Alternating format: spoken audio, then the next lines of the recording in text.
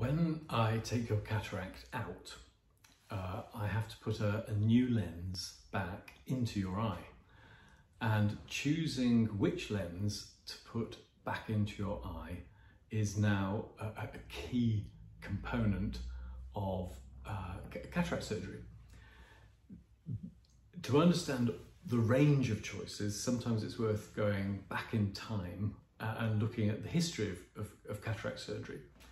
So once upon a time, we simply took your cataract out and uh, put in our best guess. And then you went to your optician after four weeks, picked up a new pair of glasses, and uh, that was normal. So we, we simply assumed that you would need a new pair of glasses after your cataract surgery. Then progressively our measurements of your eye became better and better and the lens we could put back into your eye um, was a, a fixed focus monofocal lens and then we would try uh, and give you either very good distance vision and then you'd put on your, your, your reading glasses or uh, if you preferred reading, we would give you uh, very good reading vision and then to drive, you'd put on your, your driving glasses. And then obviously the desire was to give you a better and better vision over a larger range. The, the concept being, of course, that the, the vision we want to restore is the vision of your youth when you could see potentially in the distance and up close. And lens development then started to try uh, and make multifocal lenses. So a lens that would take uh, a third of the distance light, a third of the intermediate light and a third of the near light and give you three different blur circles. And you then technically you could see in the distance and you could see near, but these different blur circles meant that you weren't using all the available light and you had to learn to ignore the uh, areas, the, the, the bits of light that were focused on the lens that weren't where you were observing. So all the multifocal lenses uh, gave glare. And for some people the glare was tolerable, uh, but for other people the glare was an issue and it could actually make night driving quite difficult.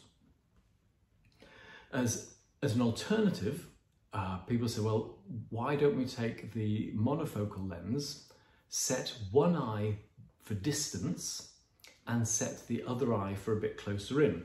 And this was called monovision and was very popular, but for some patients, they found the fact that the image was slightly different in each eye uh, they found that quite quite difficult to learn how to use. And again, some patients didn't like monovision. Then a monovision was adjusted to be mini monovision, where one eye was set for distance and the other eye was set for really quite long arm's length. But this made the two eyes uh, closer to each other uh, and gave a, a, better over, overall patient satisfaction. And then most recently has come a new lens design called an extended depth of field lens. And the extended depth of field lens does just that. If you put the lens in the eye and set the eye to look in the distance, then that eye would get distance and intermediate vision. And then if you take the same uh, approach in the other eye and put in an extended depth of field lens to give intermediate and near, the two lenses then overlap. And so using two extended depth of field lenses in your eyes gives you a large range of vision with a much smoother junction between the two eyes. And so uh, this is currently uh, a very popular uh, solution for how to give you a really large range of vision that's comfortable. It's fair to say that using two extended depth of field lenses, you're still not going to be able to read uh, up close in bed. So to read in bed, you're still going to need a, a pair of, of, of reading glasses, whereas with a multifocal lens, you can see distance and all the way up close, but with the glare.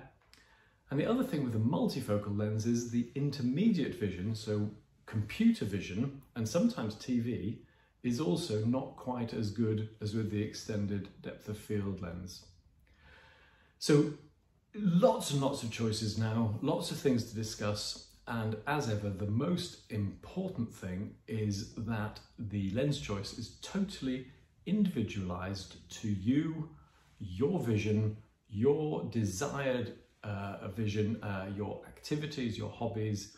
In other words, it should be very bespoke.